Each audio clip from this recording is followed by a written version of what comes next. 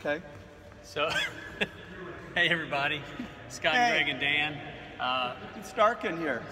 Scott's Oh, got hi. Scott's got his head inside the 40-inch refractor. Get your head out of the. Get your head out of the. out of the- I thought that was like a little hat or something. So. So we've we've just watched the front cleaning of the uh, optics. Uh, what a experience it's been moving the scope up and down. Uh, but this little hatch is very interesting.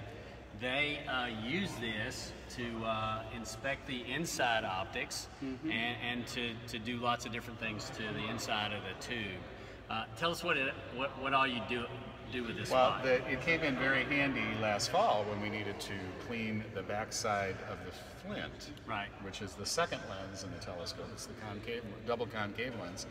Instead of the only other way to, to clean the inside of the flint is to get inside the tube. And there's a there's a porthole up in the in the middle of the scope connected to the the RA uh, shaft, and that that allows someone to climb inside and then sh- you know work their way back. It looks here. like there's even a handle inside of there. It's kind of Uh, well, like there's, a rail. there's conduit for electrical. Electrical. Oh, so you really It's- don't want to hold on to that part. Yeah, that, that's what that's for. But um, this is an alternative method for actually getting the backside of the flint, since some of us are not. yeah, we can't get in the tube. Uh, we're, we Well, a few can't. of Uh. We can't quite slip through that hole anymore. So this is an alternative way of getting uh, to the Yeah, flint. there's also a little baffle system that, that opens and closes just between this area. They're smaller Pull openings. down the optics or something. Well, no, what that does is it's kind of like a collar. It opens up armholes, so then we can work on either the Yeah. front of the flint or the backside of the crown, the, the front lens. Okay. So that's the way that. And in fact, last fall when the, when the optics were clean, that's exactly how that. So there's an eight-inch gap.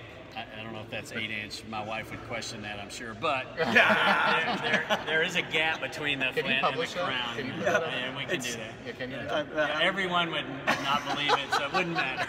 They don't know what you don't. You guys don't know what we're talking Yeah, about, we, right? we, Okay, yeah. okay. Scratch that. Forget, forget we said that. Okay. But this is spectacular, guys. I mean, this is a, really, a, to me, a once-in-a-lifetime experience. And if you've never come to this observatory, You need to. have Gotta got to come do this. here. The tour is see me. spectacular. See the, that guy. The, the uh, building is spectacular. The scopes are spectacular. Even the gift shop is spectacular. And you Dan is spectacular This guy too. is yeah, the man. So that's right. The best, the best of all. That's right. so look, keep following us. We'll Yep. see you again soon. Take Yep. care. Bye.